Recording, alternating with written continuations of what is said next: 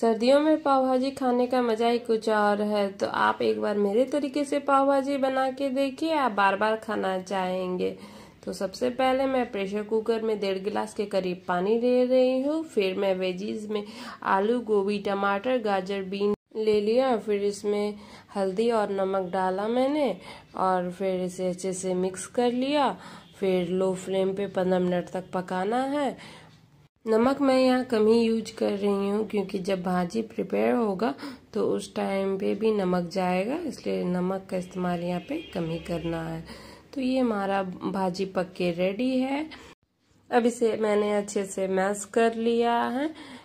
ये अच्छे से पक चुका है, इसलिए इसे ज़्यादा टाइम और मेहनत भी नहीं लगता है मैश करने में। ये देखिए, ये कितने आसानी से मैश हो गया है।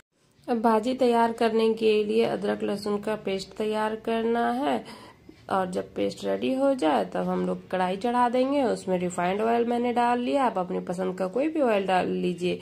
और अब मैं यहाँ प्याज डाल रही हूँ। प्याज को अच्छे से लाइट ब्राउन करना है। हमें गोल्डन ब्राउन करने की ज़रूरत नहीं है। सो प्याज इस स्टेज पे आ चुका है। मैं यहाँ पे इसमें तीन हरी मिर्च डाल रही हूँ। आप अपने हिसाब से मिर्च का यूज़ कर लीजिएगा। और फिर मैं यहाँ दो चम्मच के करीब अदरक और लहसुन का जो मैंने पेस्ट तैयार किया था, वो डाल रही हूँ। और इसे पाँच मिनट तक अच्छे से पकाना है, क्योंकि लहसुन को पकने के लिए टाइम चाहिए। जब ये पक जाए अच्छे से, तब मैं इसमें शिमला मिर्च डाल रही हूँ। मटर डाल रही हूँ। अब इसे अच्छे से पाँच मिनट तक पकाना है। आप चाहे तो इसे ढक के भी पका सकते हैं। पर मैं नहीं ढक रही क्योंकि अभी नए नए मटर हैं तो इन्हें ढकने की ज़रूरत नहीं पड़ती।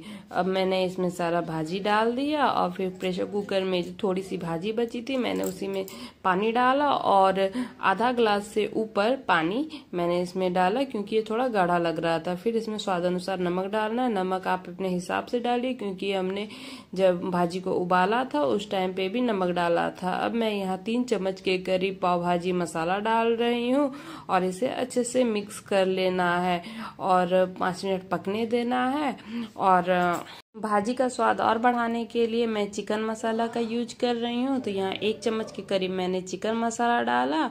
अब इसे अच्छे से पकने देंगे पाँच मिनट तक, ताकि ये सारे मसाले अच्छे से पक जाएँ और सारे मसालों का स्वाद सब्ज़ी में आ जाए, जिससे हमारा पाव भाजी बहुत ही टेस्टी बनेगा।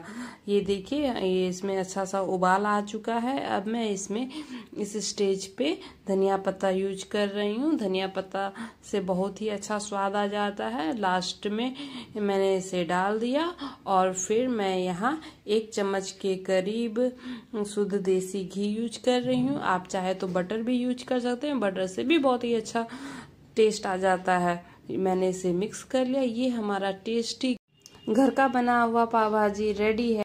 तो अब पाव भाजी सर्व करने के लिए मैंने एक प्लेट में ढेर सारी पाव भाजी निकाल ली है और पाव को गर्म कर लेना है। पाव को मैं यहाँ सुदगी में गर्म कर रही हूँ। आप चाहे तो बटर का यूज़ कर सकते हैं।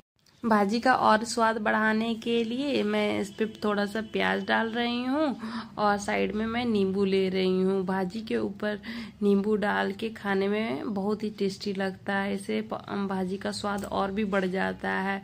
सो, ये मेरा पाव भाजी बन के रेडी रहा। और वीडियो अच्छा लगे तो लाइक कीजिए, चैनल को सब्सक्राइब कीजिए और बहुत सारा प्यार दीजिए। Thank you